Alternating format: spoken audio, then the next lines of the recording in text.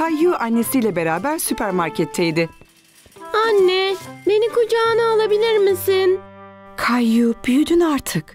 Kendi kendine yürüyebilirsin. Ama kendimi çok iyi hissetmiyorum. Kayyu ağlamaya başladı. Kendini iyi hissetmiyordu. Aa, Kayyu alnın çok ısınmış. Galiba ateşin var. Kayyu annesine sarıldı. Hmm, hadi şimdi eve gidelim ve ateşine bakalım.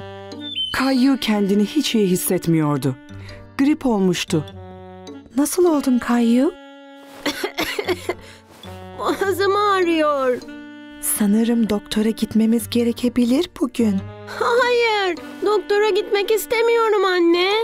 Hasta olduğunda doktora gitmen gerekir Kayyu. Doktor senin çabuk iyileşmene yardımcı olur. Merhaba Kayu. Kayyu annesinin yakınında olmak istedi. Hala biraz korkuyordu. Kuşlar bana senin kendini pek iyi hissetmediğini söyledi. Sana yardımcı olabilirim. Tabii sen de yardım edersen. Steteskopumla annenin kalbini dinleyebilirsin. Kayyu önceden hiç steteskop kullanmamıştı. Çok etkilenmişti. Annesinin kalp atışlarını duyabiliyordu. Wow! Çok iyi değil mi? Kendi kalp atışlarını dinlemek ister misin? Kayyu kendi kalp atışlarını duyuyordu. Çok etkilenmişti. İyi. Dinleyebilir miyim? Doktor Rose steteskopu kullanarak Kayyu'nun kalbini ve ciğerlerini dinledi. Kayu, bir de kulaklarına bakmam lazım.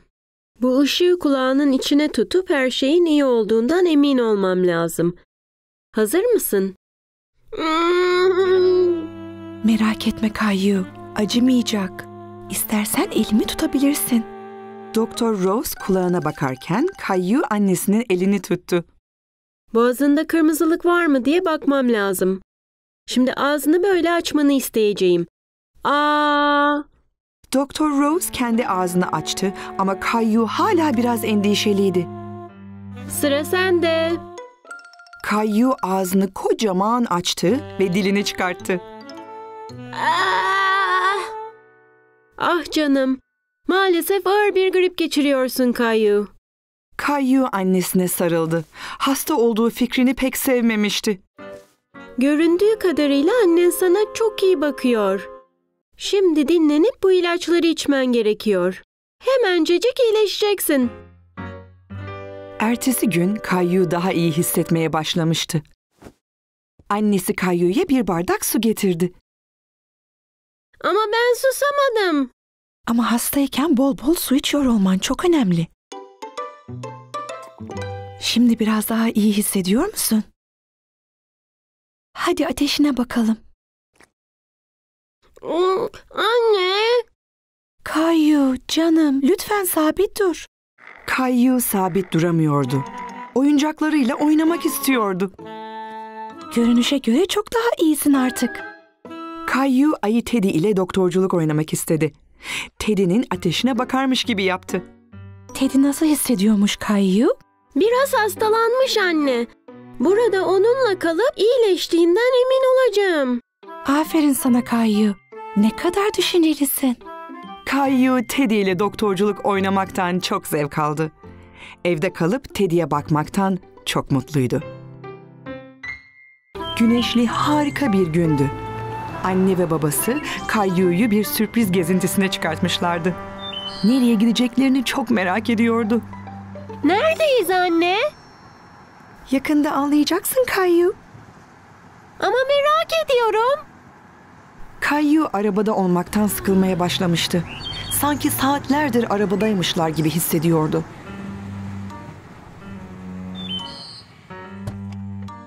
Kayyu her bir tarafa baktı.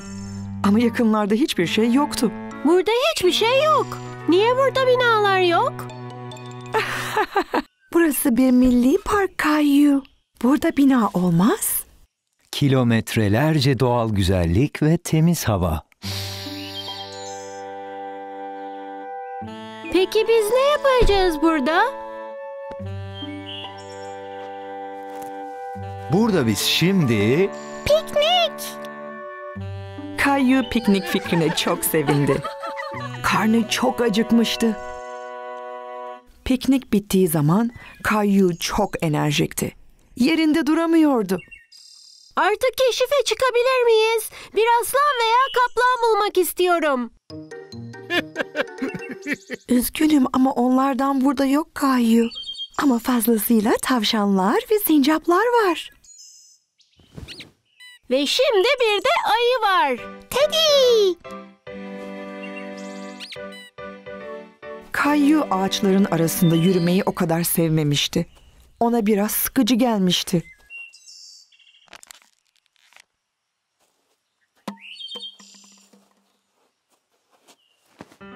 Affedersiniz. Kayu arkasını döndü ve değişik giyinmiş, büyük şapkalı adamı fark etti. Selam ben Bob. Park bekçilerindenim. Bunu düşürmüş olmalısın küçük adam. Kayu'nun kafası karışmıştı. Neden onun çöpünü taşıyordu? Hayır, boş o artık. İhtiyacım yok. İhtiyacın olmayan şeyleri bu şekilde bırakamazsın. Her zaman çöpe attığından emin olmalısın. Ama neden? Çünkü eğer herkes çöpünü buraya atsaydı bu park çok pis olurdu. Ve bazı hayvanlar çöpleri yiyecek zannedip yemeye çalışırken kendilerine zarar verebilirler. Kayu o fikri beğenmemişti. Hayvanlara zarar gelsin istemiyordu. Oh hayır. Bir dahaki sefere mutlaka çöpe atacağım. İşte bu çok daha iyi. Hatta geri dönüşüm yapabilirsin. Geri dönüşüm nedir? Geri dönüşüm sayesinde cisimleri atmak yerine yeniden kullanırız. Mesela bu şişe. Hmm. Baba, orman bekçisi Bob da bizle gelebilir mi? Tabii ki. Kayu geri dönüşümün neden önemli olduğunu daha iyi öğrenmek istiyordu. Ne gibi şeyleri geri dönüştürebiliriz? Ee, teneke kutular, karton, kağıt, cam ve plastik. Ama onları atarken ayrıştırman gerektiğini hiç unutmamalısın. Sonra ne oluyor? Geri dönüştürebilmek için küçük parçalara ayırıyorlar ve yeni şeyler üretiyorlar. Oo, bir çember gibi sürekli dönüyor. Aynen öyle. Bravo evlat. Uzun bir yürüyüşten sonra Kayu ve ailesi artık eve dönmek için hazırdı. Geri dönüşüm bilgileri için teşekkürler. Seve seve Kayu. Bak sana burada bir hediyem var. Biri senin, biri Rosie için. Wow, teşekkürler. ben bekçisi Kayu. bye bye bekçi Bob.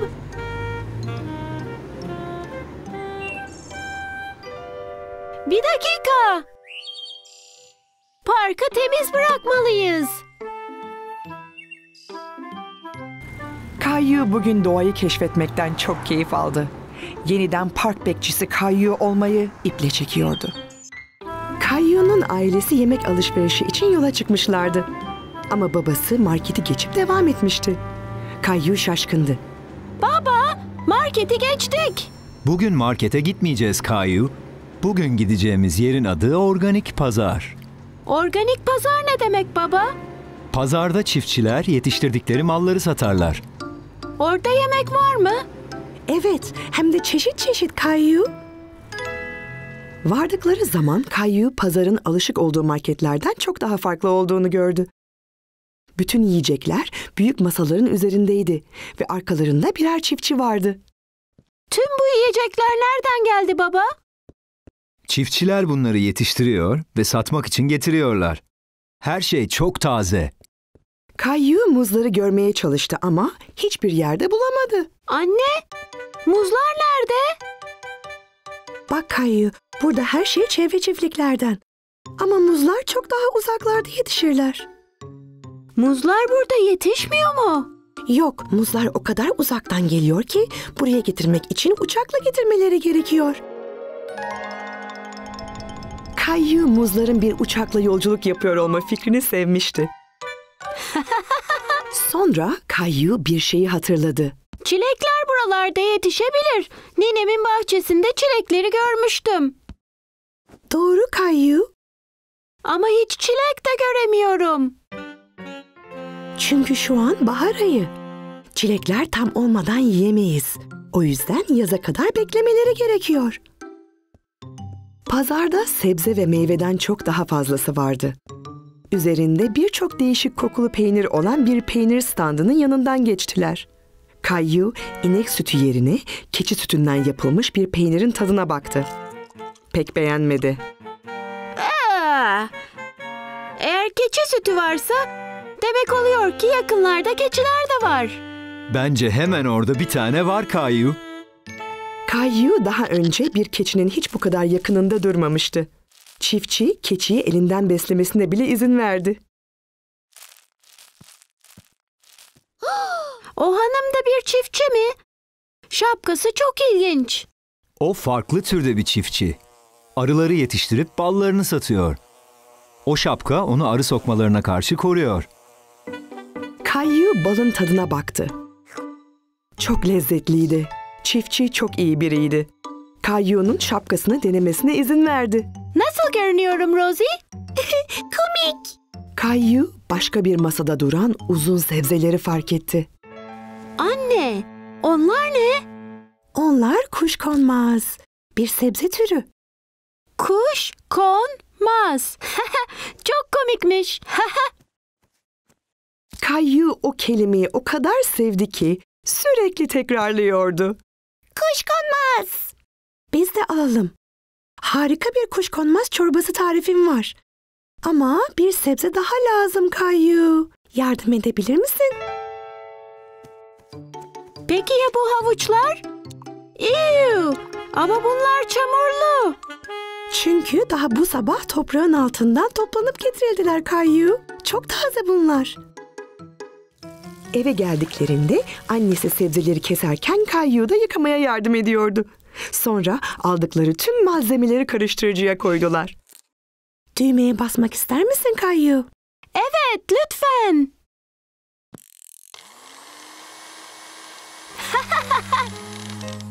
Yemek vakti geldiğinde herkes bir kase çorba içti. Kayyu bir tadına baktı ama sevdiğinden emin değildi. Ne düşünüyorsun Kayyu? Spagetti kadar güzel değil. Ama sebzeleri seçmesi çok zevkliydi. Eğer tatlı yemek istiyorsan yemeğini bitirmen gerekiyor. Anne üzerine pazardan aldıkları baldan damlatılmış dondurma kaselerini getirdi. Kayyu hayatında yediği en lezzetli şeyin bu olduğunu düşündü. Yakında yine organik pazara gidebilir miyiz? Evet Kayu, artık bir dahaki yaza. Bakalım mevsimlik neler olacak. Belki bu sefer çilekler de olur.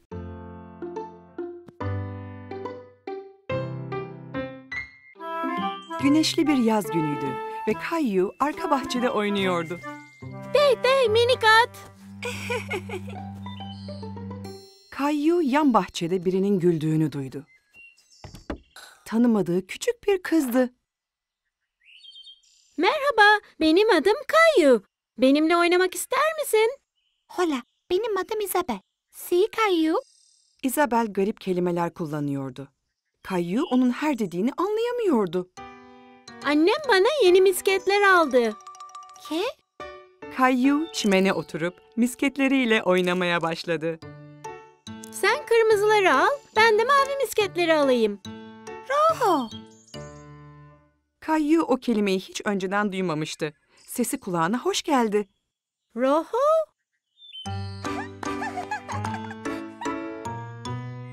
Oyun bittiğinde Isabel cebinden küçük bir oyuncak tavşan çıkardı.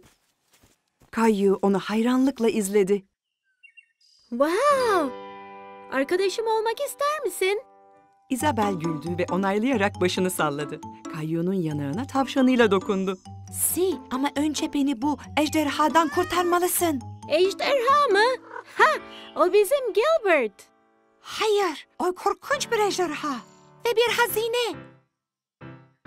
Böyle bir kılıca ihtiyacın var.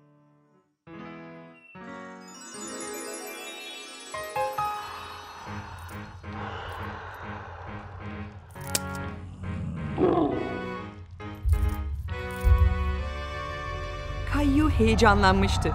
Beraber her ejderhayı yenebileceklerini biliyordu. İleri!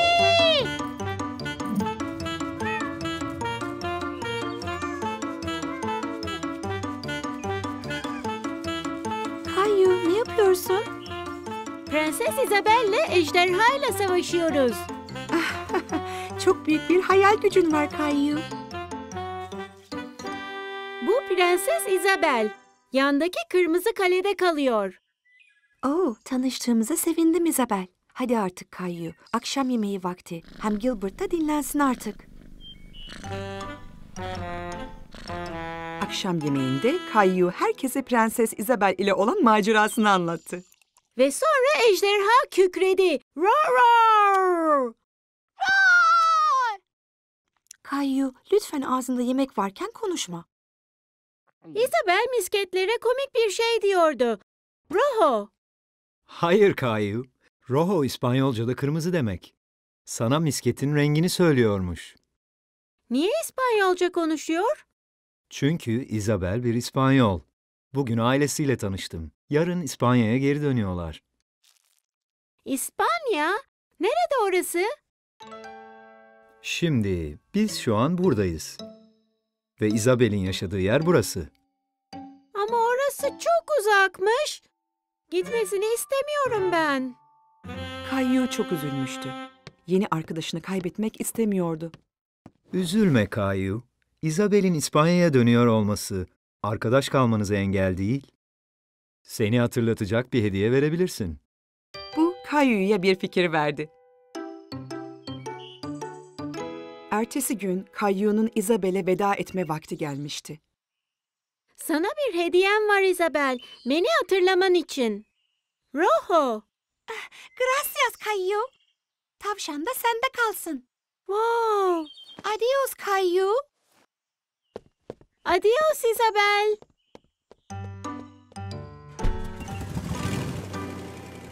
Birkaç gün sonra Kayyu bu macerayı bitiriyordu.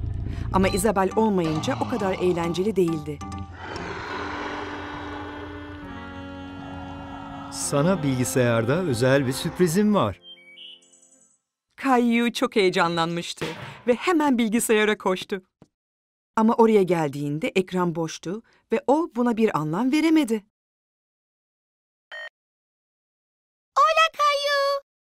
Isabel.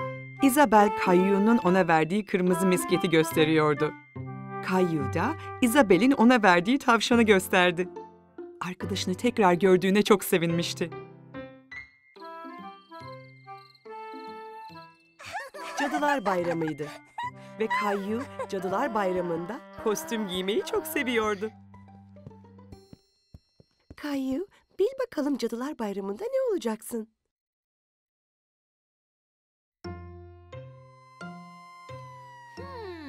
İtfaiyeci? Hayır, bir daha dene.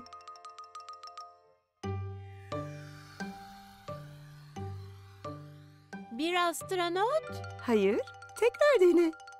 Kayyu bayağı düşündü. Annesi acaba Cadılar Bayramı için hangi kostümü hazırlamıştı? Buldum. Özel bir sihirbaz. Annesi ona bir sihirbaz kostümü hazırlamıştı. Giymesine yardım etti.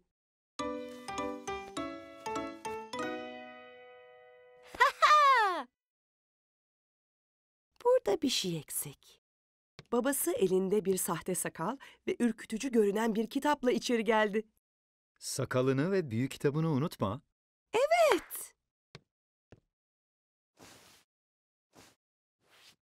Sihir yapmaya hazır mısın Kayu? Galiba babacığım. Kadabra. evet Rosie. Senin palyaço kostümün de hazır. Rosie palyaço kostümünü gördü ve bir anda kostüm giyip dışarı çıkmaktan vazgeçti. Hayır. Şeker veya şaka oynamayacak mısın? Hayır. Kayyu bayağı şaşırmıştı. O palyaço kostümünü korkutucu bulmamıştı. Ama Rosie'ye göre öyleydi. Belki Rosie dışarı çıkmaya korkuyordur.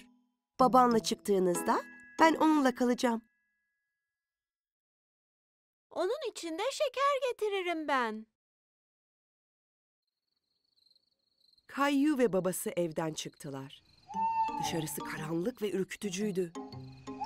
Her yerde kabak fenerler vardı. Baba, burası biraz korkutucu.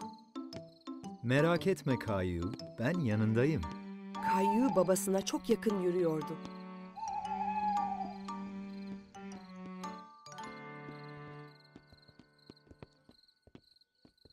Önce Bay Hinkle'ın evine gidelim. Kayu Bay Hinkle'ın ön kapısına doğru yürüdü ve babası onu merdivenin önünde bekliyordu.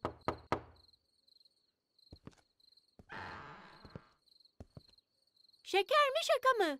Merhaba. Genelde hiç sihirbaz misafirlerim olmuyor. Ne güzel bir sürpriz bu Kayu. Umarım kurbağa prense dönüşmeyeceğim. Kayu Bay Hinkle'ın onu tanımasına sevindi. Teşekkürler Bay Hinkle. Rosie nerede? Rod biraz korktu. O yüzden evde annemle kaldı. Peki, lütfen bu şekerlerin bir kısmını da ona ver. Olur mu?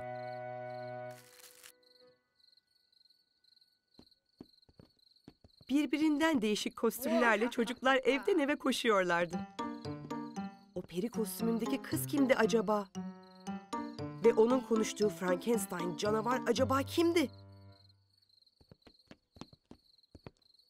Bana bak Kayu, ben korkunç bir canavarım.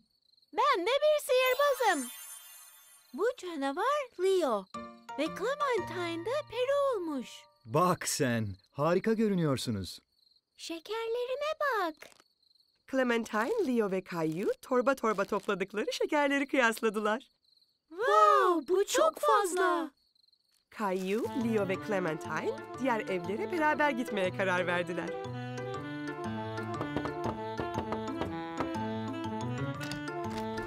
Şeker mi şaka mı? Çok fazla şeker topladılar ve kısa sürede torbalarını tamamen doldurdular. Eve gitme zamanı. Oh hayır, daha değil. Benim bir fikrim var. Son bir oyun daha oynayabiliriz. Caillou, Clementine ve Leo, Caillou'nun evinin ön kapısına doğru yürüdüler. Şeker mi şaka mı? Kim varmış bakalım? Bir sihirbaz, bir canavar, bir de peri. Rosie hala biraz korkuyordu. Rosie, benim.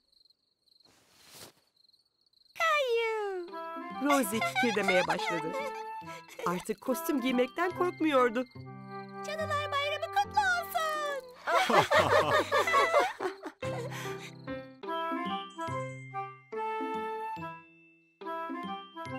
Caillou her sabah sokaktan geçen büyük sarı okul otobüsünü seyrediyordu. Her zaman onu bekleyen çocukları görüyordu. Caillou'nun arkadaşı Sarah otobüse bindi ve yerine oturdu ve pencereden bakmakta olan Caillou'yu gördü.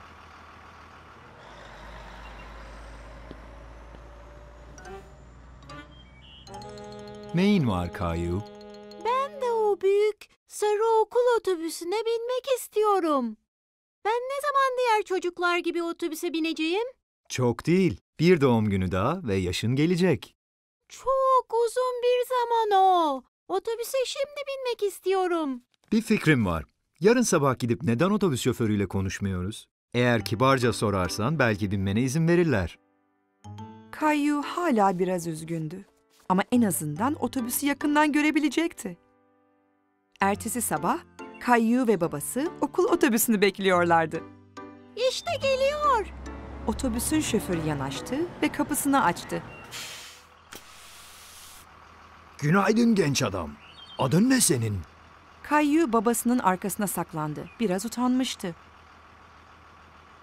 Bu Kayu. Seneye o da okula gidecek.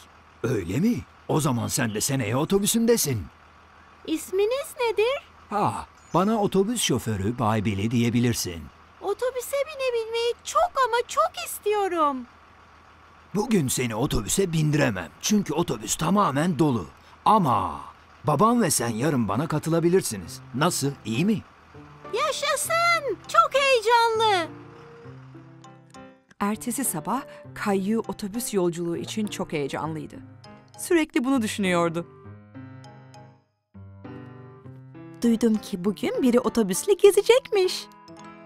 Çok heyecanlıyım anneciğim. Otobüs bip bip. Bay Billy'e teşekkür edebilmek için özel bir şey yapmak istiyorum. Ona resim yapsana. Kayyu bunun çok iyi bir fikir olduğunu düşündü. Renkli kalemlerini ve kağıdını önüne koydu. Bu otobüsü kullanan benim. Ne kadar güzel bir resim Kayyu. Kahvaltıdan sonra Kayyu ve babası otobüs durağında Sera ile buluştular. Otobüse sen de mi bineceksin Kayu? Kayyu gururla başını salladı. Kendini büyük bir çocuk gibi hissetti. Otobüs önlerinde durdu ve Bay Billy kapıyı açtı. Geç bakalım Kayu. Gecikmememiz gerekiyor. Kayyu babasıyla beraber otobüse bindi. Kayyu ve babası otobüs şoförü Bay Billy'nin hemen arkasına oturdular. Kayyu kendini otobüsü kullanıyormuş gibi hissetti.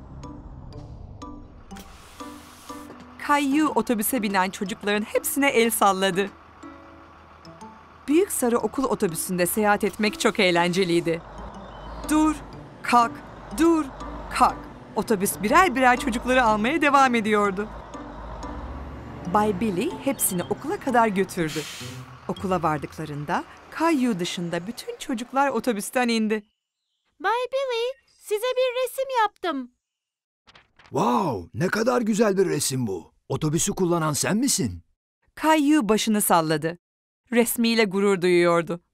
Harika. Herkes görebilsin diye bu resmi buraya asacağım. Şimdi dönme zamanı. Kayyu bu okul otobüsü yolculuğunun hiç bitmesini istemedi. Çok eğleniyordu. Ama annesi ve Rosie'nin onu beklediğini görünce eve dönmek Kayyu'yu mutlu etti. Beni gördün mü anne? Tabii ki gördüm. Bay Billy'ye teşekkür ettin mi? Teşekkürler Bay Billy. Bugün harika vakit geçirdim. Ben de öyle Kayu. Ben de sana teşekkür ederim. Benim de sana ufak bir hediyem var. Bay Billy, Kayyu'ya oyuncak bir sarı okul otobüsü verdi. Artık istediğin zaman kullanabileceğin senin de sarı bir otobüsün var. Oo, çok sevdim. Teşekkürler Bay Billy. Kayyu otobüs giderken el salladı. Çok teşekkürler Bay Billy. Görüşürüz. Kayyu hemen büyüyüp o otobüse her gün binebilmek için sabırsızlanıyordu. Yaz tatiliydi. Kayyu ve ailesi plaja gidiyorlardı. Kayyu okyanusu görmeyi sabırsızlıkla bekliyordu. Yaklaştık mı? Az kaldı Kayyu. Okyanusu gördüğünde bil ki çok yaklaştık. Yüzmeye gitmek istiyorum ve en büyük kumdan kaleyi ben yapacağım. Dondurmayı da unutma. Kayyu'nun en sevdiği şeydi dondurma. Bütün farklı aromaları tadacağı için çok heyecanlıydı. Hmm, nefis, nefis. işte orada. Okyanusu görebiliyorum.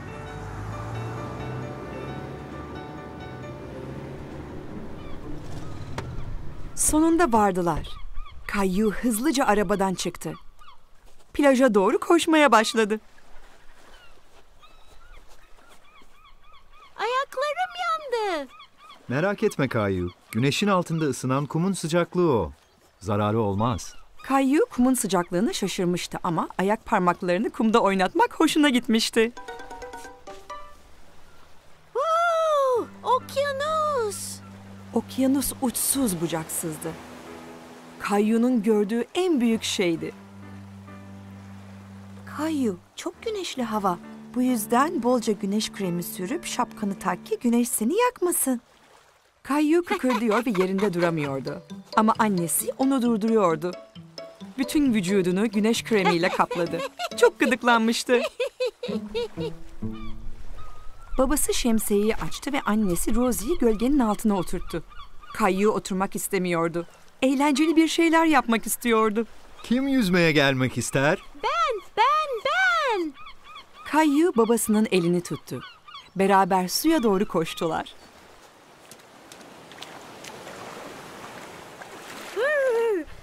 Su soğukmuş. Bir şey olmaz, birazdan alışırsın. Kayyu ve babası suyun içinde çok eğleniyorlardı. Bir anda büyük bir dalga babasını deviriverdi. Kayyu babasını yosunla kaplı görünce çok güldü. Ve bir dalga daha gelip bu sefer Kayyu'yu devirdi. Suyun altına girmek hoşuna gitmemişti. Merak etme Kayu. Şimdi biraz daha dikkatli olalım ve gelen dalgaları izleyelim olur mu?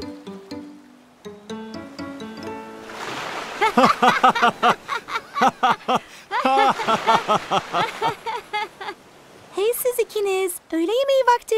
Dalgalarla oynadıktan sonra Kayyu ve babası çok acıkmıştı. Öğle yemeğinde Kayyu bir sandviç, bir elma yiyip biraz limonata içti. Nefis. Kayyu sandviçinden büyük bir ısırık daha aldı. Ama sandviç kumlanmıştı. Kumlandı bu. Ben bunu yiyemem ki. Geçmekte olan bir martı kumlu sandviçi kaptı ve kaçtı.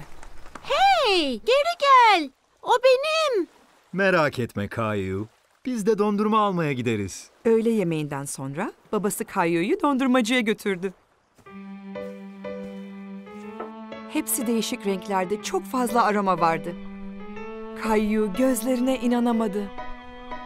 Ben hepsini denemek istiyorum. Bence bugünlük bir tanesini seç, bir dahakine diğerlerini denersin. Tamam. Ama bu kadar çeşit arasından nasıl seçeceğim? Arkadaş canlısı dondurmacı Kayyu'ya değişik aromalardan tattırdı ve en sevdiğini seçmesine yardımcı oldu.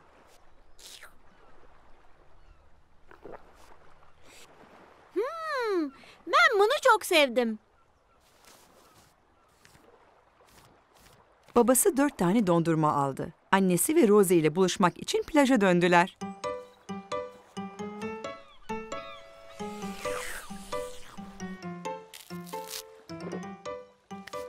Rosie'ye kumdan kale yapmayı göstermek ister misin?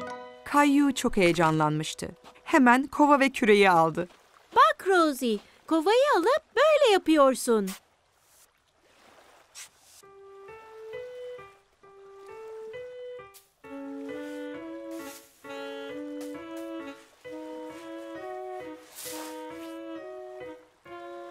Rosie kikirdedi ve ellerini çırptı.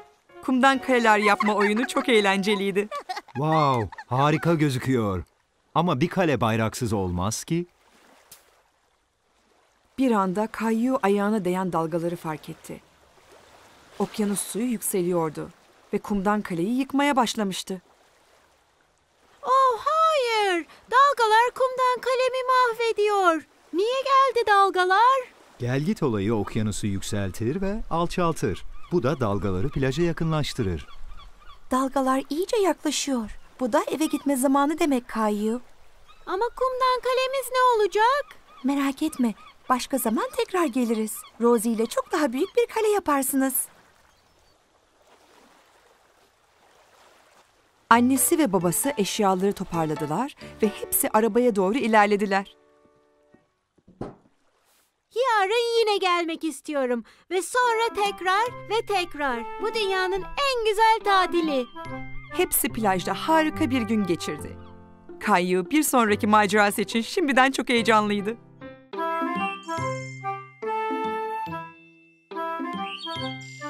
Caiu e papai estavam brincando com o trenzinho favorito de Caiu. Papai, Sim, Caiu? É verdade que alguns trens andam embaixo do solo? Sim, é verdade. É um tipo especial de trem chamado metrô, Caiu. Caiu estava um pouco surpreso. O metrô deve ser muito escuro se está abaixo do solo. Adoraria andar de metrô um dia. Isso deu a papai uma ideia. No dia seguinte, papai decidiu levar Caiu em uma expedição especial. Nós vamos mesmo em um trem do metrô? Sim, Caiu. Seremos dois exploradores. Caiu colocou seu boné azul especial e sua mochila. Mal posso esperar para ser um explorador. O que tem em sua mochila? Coisas de explorador. Caiu e seu papai entraram na estação de metrô.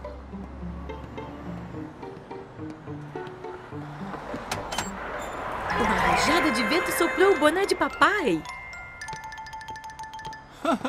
Ops! Um bom explorador deveria sempre segurar seu boné durante um tornado. Caio se perguntou de onde todo aquele vento estava vindo. Papai comprou dois bilhetes para o metrô.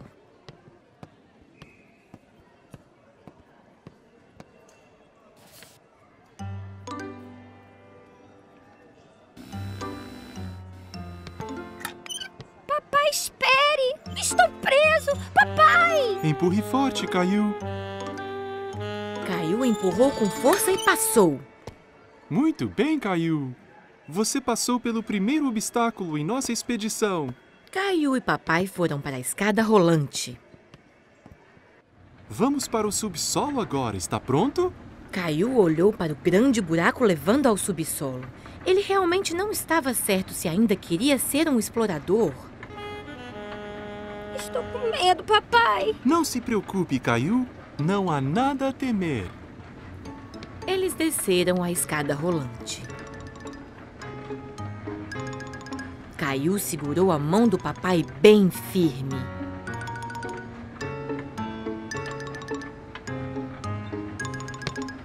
E aqui estamos. Mas não é nada escuro. Havia tantas pessoas e até havia um homem tocando violão. Papai olhou em um mapa enorme na parede, cheio de linhas coloridas. Então Caio ouviu um barulho cada vez mais alto. O que é isso? Você verá. Luzes apareceram no túnel escuro. É o trem! O trem do metrô chegou com uma grande rajada de vento e as portas abriram sozinhas. Rápido, Caio. Temos que entrar antes que as portas fechem. Caio estava muito impressionado. São portas mágicas? Caio olhou à volta do metrô cheio. Temos que ficar em pé? Segure firme, Caio. O trem partiu e pegou velocidade. Caio estava segurando a barra firmemente. Ele adorou seu passeio no metrô. É como um carrossel! Caio assistiu as luzes unindo pelo túnel. Estamos quase lá. Caio estava triste que o passeio chegaria ao fim. Caio e papai caminharam pelo parque. Eles pararam em um banco do parque para fazer um lanche. Muito mais quieto aqui do que no metrô. Caio pegou dois biscoitos da sua mochila. Um pra você e um pra mim. Você é um explorador que pensa em tudo. Eu trouxe minha lanterna e meu ursinho também. Os exploradores voltaram para a estação de metrô. Cuidado com o tornado! Caio entrou na estação segurando seu boné. Empurrou a catraca sem ficar preso. E desceu a escada rolante até o subsolo sem medo algum. Uma vez no metrô, Caio pegou no sono no colo de seu papai.